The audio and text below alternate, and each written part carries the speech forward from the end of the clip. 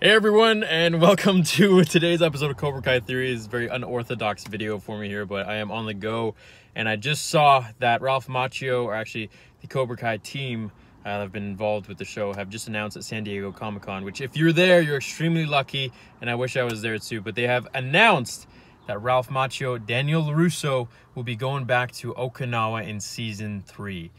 This opens up a whole new world of different theories. In fact, I think I mentioned something like this in one of my videos is what if Daniel went back there to reconnect with Sato? I think that would be something really cool because it's, you know, Sato is like the closest thing to Miyagi basically.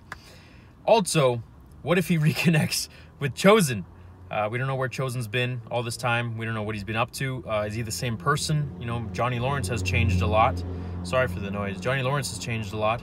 So maybe Chozen has changed too. But we do know that Chozen is Japanese. He's from Okinawa.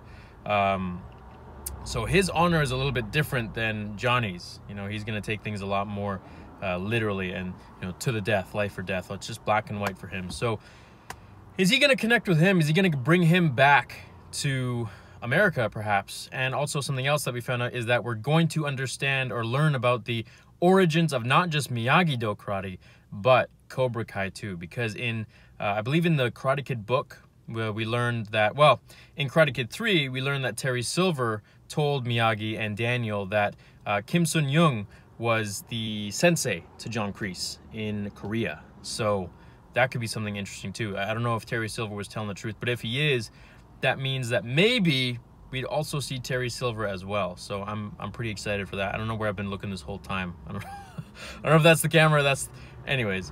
Um, I hope you guys enjoyed this update. Please let me know in the comments below what you think is going to be happening for season three. This opens up a whole new world of theories that we can start talking about for season three. It's uh, pretty jam packed. There's there are a bunch of motorcyclists going by. So I guess Johnny and his crew are just passing by. Um, yeah, so let me know what you guys think. I think this is really cool. It's going to add a whole new depth to the whole playing field.